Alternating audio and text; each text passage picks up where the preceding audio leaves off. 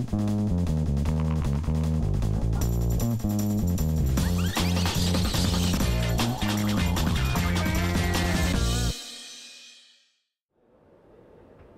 this is Amy Lewis with Cisco here on Engineers Unplugged. I'm here today with Andre and Chuck, and we are going to answer the important question, rather the important statement, be kind to your protocol, but how do you be kind to your protocol? Are you guys ready? Let's find out. Oh yes. Let's go for it. Are you ready, audience? All right, Andre. Hi. So uh, my name is Andre, and uh, I work for VMware in the office of the CTO. I'm here with my colleague um, Chuck Hirstius, also um, in the office of the CTO of VMware, and I would like to talk um, a little bit about protocol, and specifically in the VDI space. Um, so Chuck, I always talk to customers, and they always come up with questions about, you know, uh, why is my VDI session performing slow? What's happening to my protocol? Um, and I know that there is a number of things that can go wrong, um, specifically in different environments.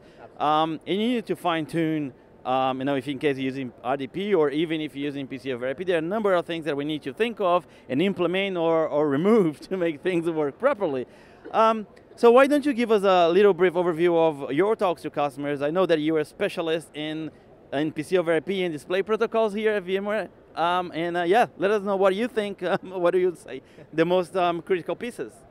So, uh, if there's any one thing to learn to be kind to your protocol, it's this one thing. PC over IP is a real-time protocol, so treat it as such. Uh, if you do nothing else, make sure that at all these points in between, you have appropriate quality of service applied to that protocol, right? It's it's really imperative. The protocol is what connects the user to their desktop, and their user experience is wholly dependent upon the responsiveness of that connection. So since PC over IP is UDP based, just like VoIP, just like IP, telepresence, and other protocols like that, that everybody readily applies QoS to because they understand that it's, it's required for that protocol to operate, you've got to do that with, with PC over IP as well. If you expect to have, you know, it, all the tuning and everything else and all the other issues that customers run into that they think they'll solve through tuning are usually solved by just following the initial best practices and the basics. So I think if you can do that, you're set. As far as latency jitter and everything else, look, a lot of that will get solved by the QoS. If you've got deep buffering going on, that's what's going to get that those PC over IP packets out of that buffering queue. It's going to get them out of the scavenger queue and get them to that end user much more quickly. You know, eh, I, I think we can go from there, but I know QoS is way down, right down here. But on, on Chuck's list, it's up at the top. Please, Peep, I'm begging you, please start there, and then we'll work we'll work our way down.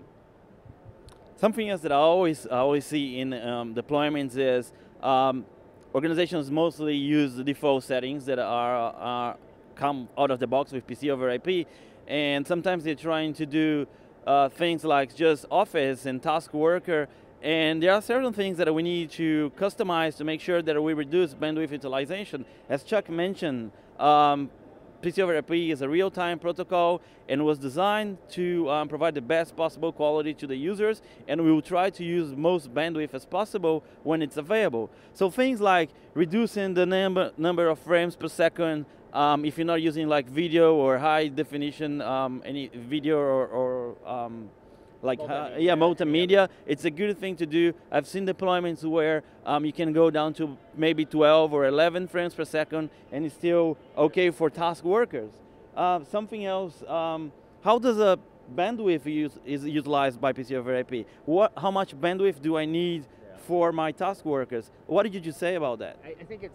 I, I, think it's important to uh, understand, uh, and Andre hinted at it that PC over IP was designed and built out of the box to be an absolute high fidelity protocol, and the default settings reflect that.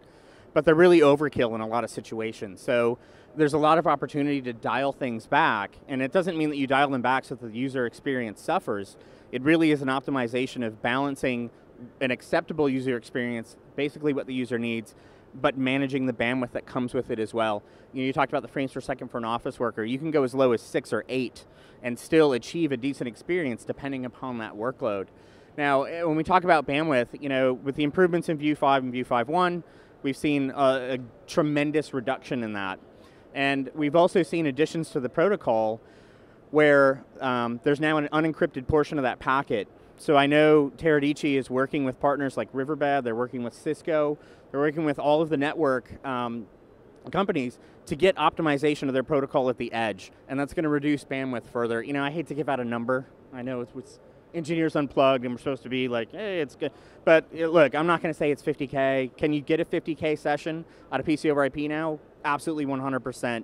But you know what? Your mileage may vary, and it, it's not always going to be right for everyone. So it, it's really about understanding. You know, I had a session here. It's about understanding that trade-off between end user experience and the bandwidth number you want to do, subjective versus objective. Balancing those two things is the art of tuning PC over IP, and it's really something you need to know. If you call yourself a View admin, you've got to understand that trade-off. If you want to effectively, you know, balance those two needs, what your end users need versus what you're going to, the load you're going to put on your network. Good. And um, something else that also very important, um, especially when you're trying to troubleshoot um, a scenario, is to understand how you capture the logs and how you understand the logs. And I know that Chuck, my colleague here, has developed an awesome tool that is freely available in his website to look at those logs and tell you exactly um, what is happening in the environment from a protocol perspective. Why don't you tell us a little bit about, about your tool and where, where, where to go and download it? That's a, that's a personal question. Um, I don't, I don't know where to go with that. Uh, no, all, all kidding aside. Um, on my blog, uh, mindfluxinc.net, uh, there is a tool called the PC over IP log viewer. And to Andre's point, you know, part of understanding how to tune and what that protocol is doing and why our users might be having a poor experience is understanding what PC over IP itself does. It's an adaptive protocol, so it changes its behavior based on the networking conditions. If you don't understand how it's adapting, there's no way you're going to understand how to resolve the issues you're seeing. So you can go there. There's more information at the blog. I'm not going to give a dissertation on it here, uh, but uh, you know it, it's very useful.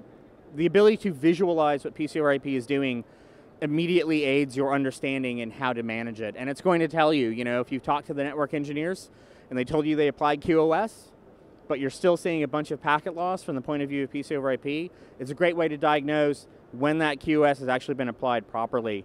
Uh, a, a, common scenario I'll throw out is, you know, you have an organization that has many, many levels of QoS on their LAN, and then you're passing that traffic out of a WAN circuit. And most circuit carriers or ISPs will only honor four levels of QoS.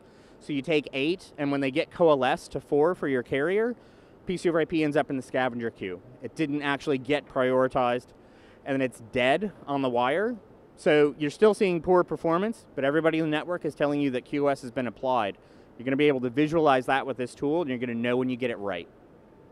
I think, you know, sorry, to say, I think that, you know, eh, the key thing to do is understand your users, follow the basics, follow the best practice, uh, best practices, practice I, whatever that is, and then uh, get out and, and, you know, again, be kind to your protocol. Treat it right, and it will treat you right. Yeah, completely agree with Chuck. Um, and also you be able to find some more information around not only PC over IP, but more about VMware View and how to stand up and how to configure um, in my blog, myvirtualcloud.net. Uh, go there and there are a number of articles that will help you to um, understand better how not only the protocol works, but the whole infrastructure. And that's it. Thank you. All right, thank you so much, Chuck. Thank you, Andre. We just have one more little portion of Engineers Unplugged. Because this is the dream. If you're going to be kind to your protocol, you also have to be kind to your unicorns. So it's unicorn drawing time. Are you ready? Draw a unicorn. Let's go. Let's go. Yeah, yeah, yeah. It's Chuck. It's Chuck's turn. You get to commentate this time. There you go, Chuck. He, he probably is going to start with the tail. N no. So it's clear that this is not a unicorn, but uh, we will think it is. Um, it's in the clouds, as you can see. Um, there, yeah, yeah, it has. It's, it's more about a camel, and there, it, it's a bull. no, it's transforming. There we go. Awesome, Chuck. Awesome job. Unicorns in the clouds. Perfect uni unicorns poop rainbows, according to Chuck. I, you know, I think Chuck really pulled it out there in the. Uh, there you go. Be kind to your protocols. Be kind to your unicorns, and uh, great job. So uh, that's all from Engineers Unplugged. We'll see you at engineersunplugged.com. Until next time.